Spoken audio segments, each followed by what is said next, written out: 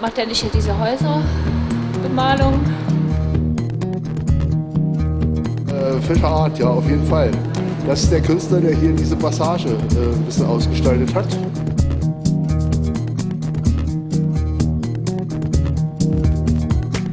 Ein bisschen anders als normal, aber es sieht ganz gut aus.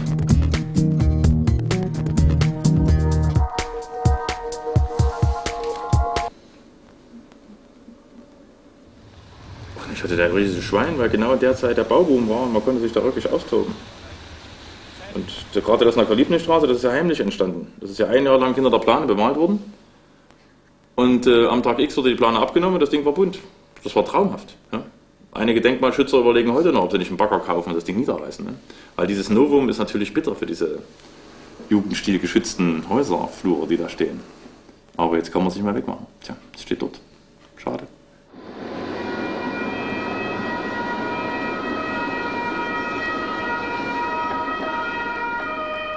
Einem farbigen Haus würde niemals ein Rechtsradikaler wohnen. Da können wir als Ausländer, wenn man verfolgt wird von so einer Horte Glatzen, immer dort klingeln. Da macht den bestimmt eine Tür auf.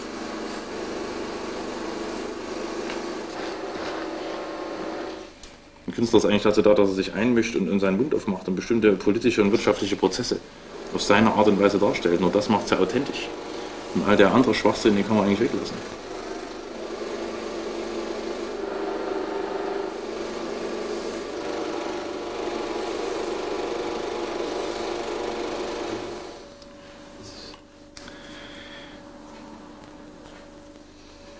Steindruck ist auf jeden Fall die edelste Art, eine Grafik herzustellen. Und da das bei dem Stein eh nicht schnell geht, entsteht hier eine ganz eigene Dichte von, von Zeichnungen den Gedanken, die man eh im Kopf hatte. Heute könnte man ja schnell eine Zeichnung machen, die auf den Kopierer legen und durchleiern. Aber da hätte man den Kram, der überall rumliegt. Das hier, das ist wirklich einzigartig, wenn 10, 12 Farben übereinander gedruckt werden. Heftig. Und hier ist es ja traumhaft, die Bedingung. Ja? Hier werden ja die Steine von Geisteshand geschliffen und äh, es wird ja alles so hingestellt, dass man nur die Kunst macht. Ja? Und es wird das, oh, das Druckthema, ja? der Herr Müller, das ist der Wahnsinn. Bitte. In der Hochschule hast du dich da echt, da hast du die Farbe gedruckt, dann hast du das Ding äh, durch, die, durch die Leier gezogen, dann musstest du den Stein selber wieder abschleifen und die nächste Farbe einzeichnen. Da hast du Monate zu tun gehabt. Ja? Und hier ist es trotz edler, aufwendiger Technik das höchstmögliche an, an, an Professionalität, was hier dahinter steckt. Besser geht's nicht. Also da. Wenn das mehr Leute begreifen würden, ja, dann müsste hier immer eine Schlange stehen, ne, wo Menschen hier drucken wollen.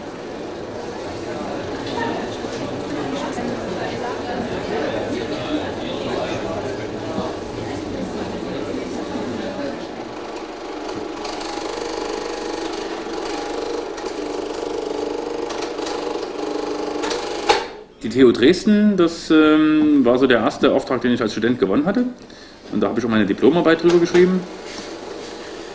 Die, äh, das war so riesig, das Gebäude, dass das, als man dann das erste Stück angefangen hatte, da dachte man, das wird nie fertig. Das, das, das, das kann gar nicht fertig werden.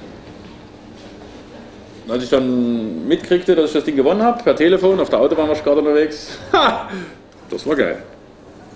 Da konnte man nicht meckern. Irgendeiner aus Bonn hat ein Buch von mir in die Hand genommen und hat das nach Dresden geschickt. In Dresden wiederum hat das jemand eingereicht für so einen Wettbewerb Kunst am Bau und diesen Kunst am Bau-Wettbewerb habe ich auch so gleich gewonnen. Und dann ist die Uni entstanden in Dresden. Eines der größten Bilder an, an Gebäuden überhaupt weltweit. Ja. Und äh, das habe ich während meines Studiums schon gewonnen. Das war verrückt. Also besser geht's nicht.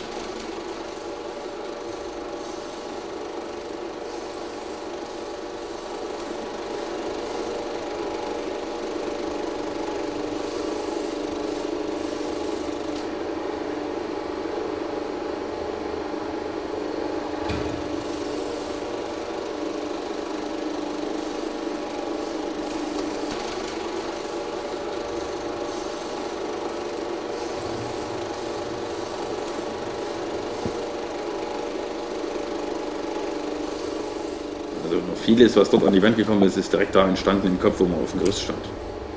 Ich habe bestimmt genug Ideen im Kopf, um den ganzen Mars und den Mond auf einmal anzumalen. Das ist jetzt nicht das Ding. Du musst immer die, Kraft haben und die Gesundheit, das Ding auch durchzuziehen.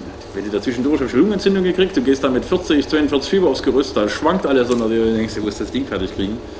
Uh, wenn du natürlich erkältet bist und krank wirst, langsamer ja, und du kommst nicht so schnell voran, wie du willst. Die Bilder, das sind ja alles so Sachen, das ist eine Flucht aus der Realität.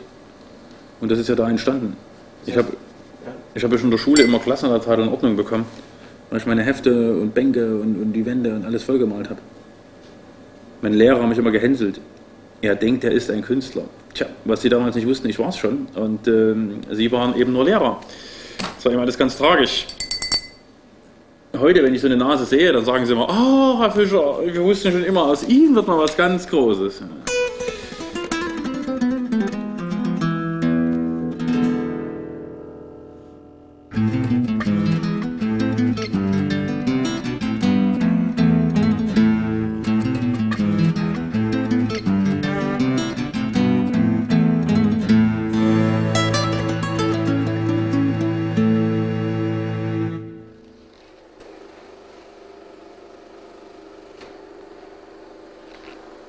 Ha! Das war geil.